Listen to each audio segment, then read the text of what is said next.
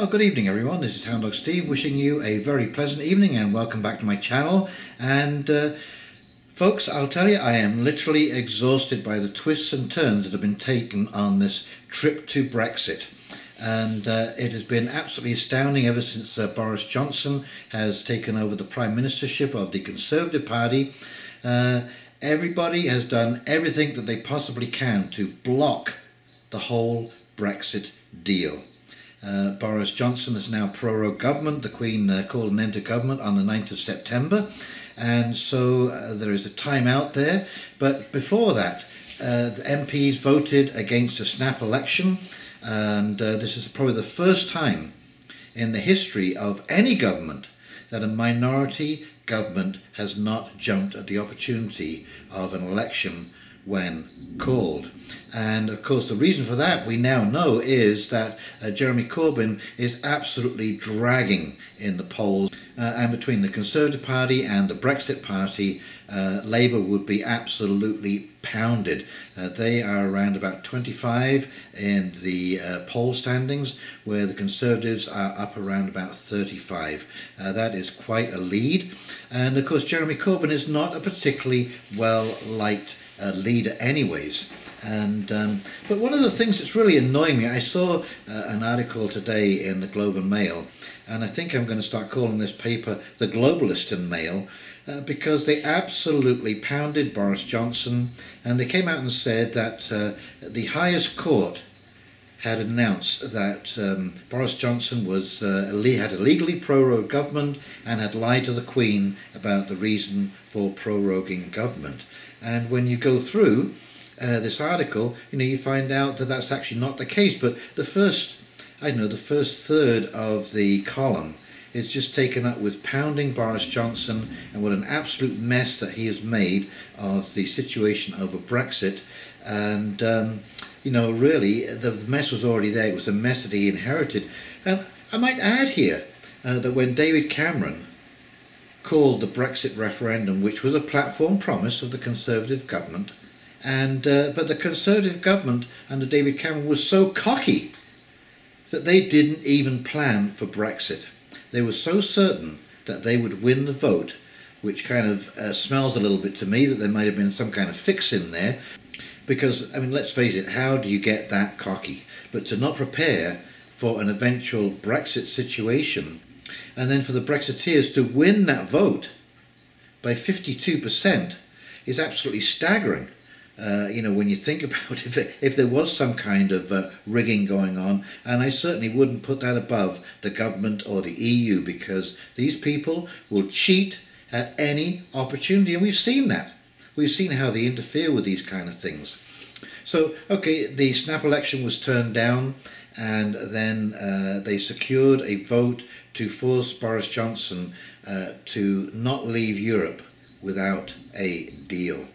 And of course, that takes away any negotiating uh, position that they might have. Uh, you know, what, what, what's your leverage? What, what are you going to negotiate with if you have to leave with a deal? So Boris Johnson lays out a deal. The EU says, no, we don't like that. Okay, you don't have a deal, therefore you have no Brexit. And this will go on and on and on and on. Uh, now, Boris Johnson has said that he will not ask for an extension, and France, the, the French negotiator, has also said that they will not allow an extension. So, October 31st is still the deadline. I believe that no matter what happens in the British Parliament, no matter what decisions they make, uh, if they can't get an extension, then Brexit will happen as the default date on October the 31st. Anyway, let's just pop over and take a look at these couple of articles that I found, and then we'll come back and I'll do a quick wrap up. Okay, dokie, here we go. Uh, I'm going to start with this now from the Globe and Mail. Boris Johnson denies lying to the Queen over Brexit crisis. Just listen to the rhetoric here. British Prime Minister Boris Johnson on Thursday denied lying to the Queen over the reasons for suspending the Parliament after a court ruled his decision was unlawful and opponents called for lawmakers to be recalled to discuss Brexit. Since Mr Johnson won the top job in July, Britain's Brexit crisis has spun more furiously, leaving investors and allies bewildered by an array of decisions that have pushed the once stable political system to its limits.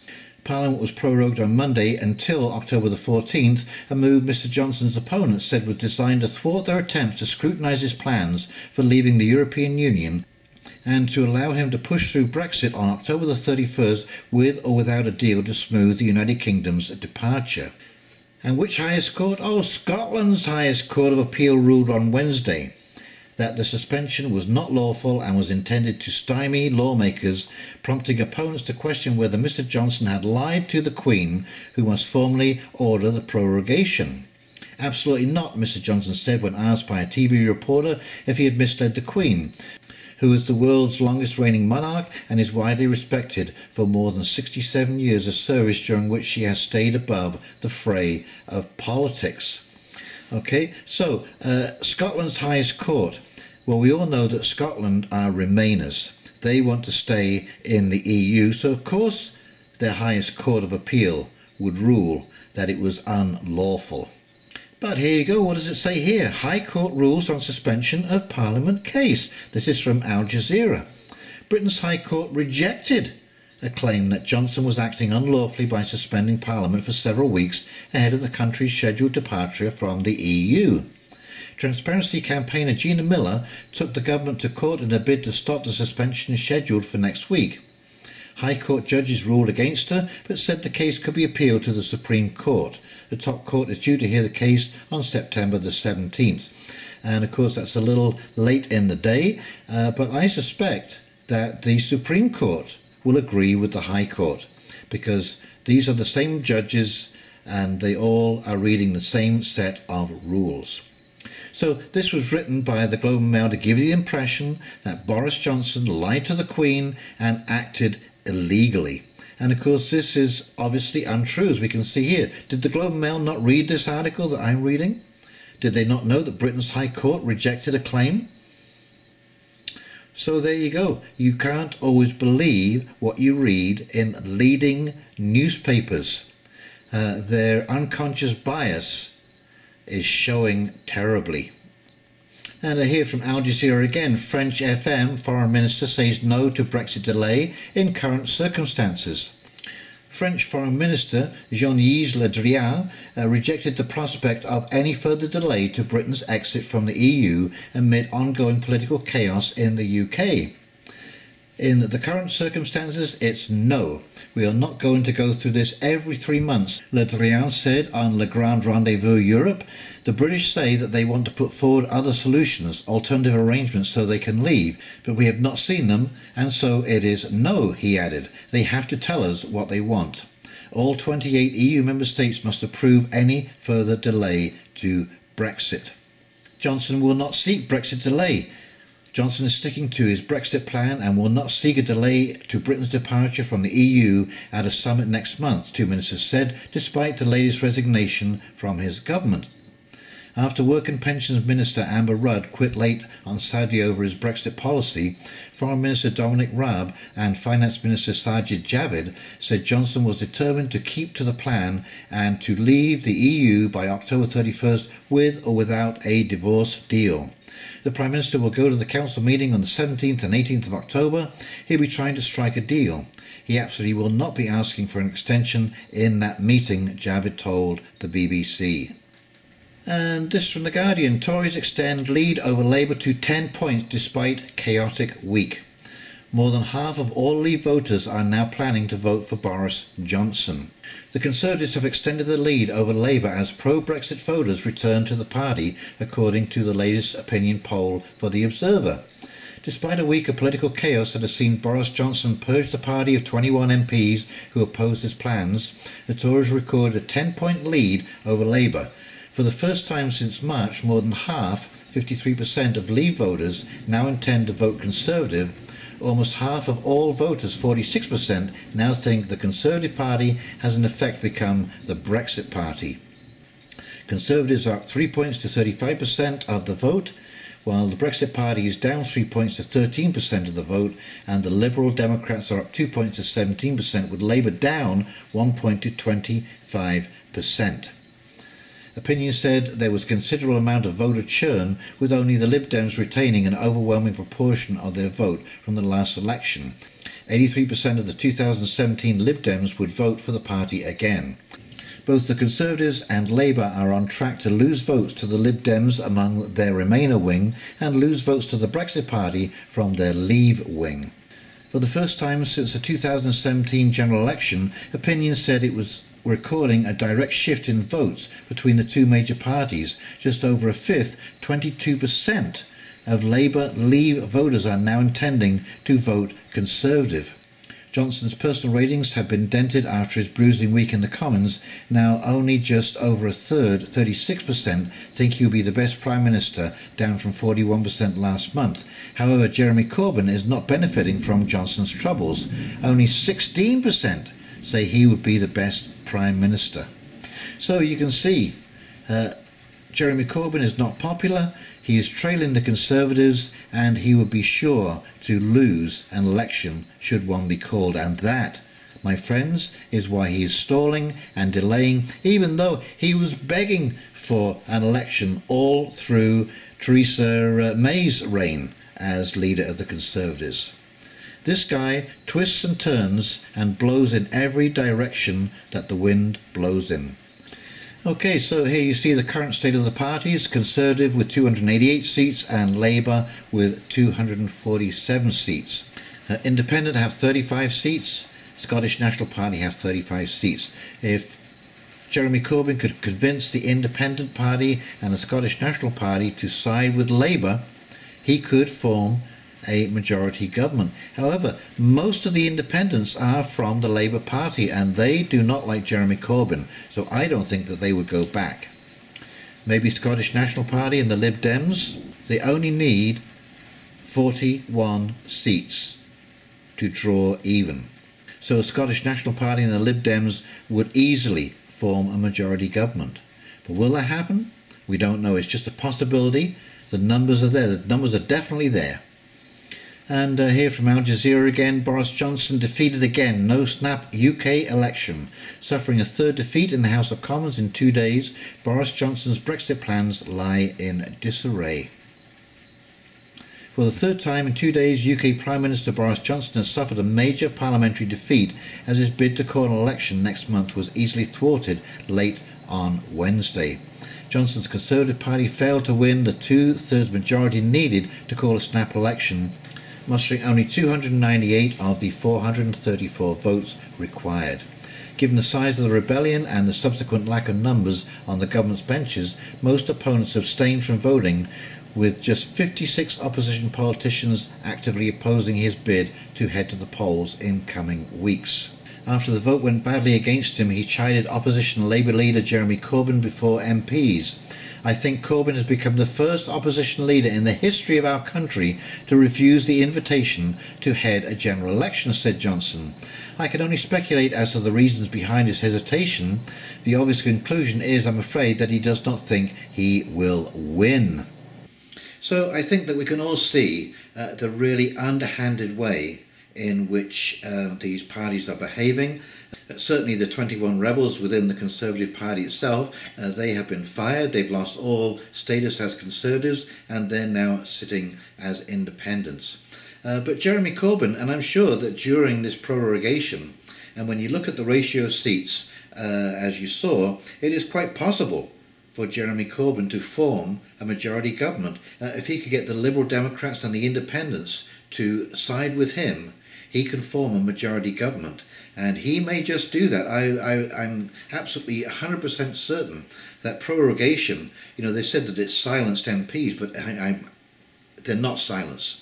That certainly the leaders of each party uh, will be going around making deals and shoring up their support and of course, now Nigel Farage has come out with the Brexit Party and said that the way they can get this deal done, uh, because he's absolutely certain that there will be a snap election, so that Nigel Farage and his Brexit Party have offered to cooperate with the Conservatives if they're truly uh, in for a Brexit uh, no deal exit. And this, the way this will work is that um, the Brexit Party will run candidates uh, in Labour ridings that have high numbers of Brexit voters. And you have to remember 22% of Labour's voters voted for Brexit. That's a significant number of your voters who are not happy, and they would vote immediately for Brexit, and of course there is a high number of voters who said, uh, or, or the 52% has said they will vote Conservative in the election. And of course, this is why Jeremy Corbyn is scared to death of having an election. But if Nigel Farage and Boris Johnson can get together, uh, there will eventually be an election, and Jeremy Corbyn cannot hold this off forever. What is most incredible to me is the number of people and the number of avenues that are opposing Brexit. And uh, as far as I can see, the people who are opposing are globalists. And uh, of course, any kind of sense of independence, any kind of sovereignty is not part of the globalist plan. And, uh, and of course, really, we should never give up our sovereignty or our independence. We should never give up our right to vote in or vote out a government. Uh, however ineffectual or rigged we might think the system is, it is, at this point in time, the only way that we have of demonstrating our favour or disfavour for the government in power and the decisions that they're making on our behalf. And at the very least, we must never give that away, and we certainly must never hand it over to unelected officials to make decisions on our behalf. Remember, I'm going to remind you as many times as I can, we're the owners. You and I, all of us, we are the owners. Without our support and without our money, there would be no government. Okay, so last time I went into a restaurant, the waiter did not tell me what I was going to have for my meal. I told the waiter. And you know why? Because I'm paying the bill. And as long as we remember that, uh, you will act, just just remember that when you're dealing with these people, and you'll behave differently towards the whole thing. They literally are, and that's why they're called civil servants. They work for us. We pay all of their wages. We pay all of the bills everything. So we have the right to speak up, and that should never, ever, ever be taken away from us. But you can see, like I say, all these different avenues all working against the democratic decision that was taken over Brexit. And of course, if they were concerned because it was a big decision for England, uh, they should have made it. 55% of the vote is the winning tally, or 60%, but they didn't. It was 50 plus 1. Now, Britain voted to leave the EU. This has been delayed for three years, it's been discussed for three years, and still no resolution has taken place. I certainly don't blame Boris Johnson for proroguing government because you can't get anything done. You, you can just see what's happening. You can just see the delaying tactics uh, that are going on, and we will never pull out. And so you have to do things like proroguing government just to allow the government and the Prime Minister to actually sit down and focus on this deal without all of these silly interferences and the whining and the crying over how unfair it is.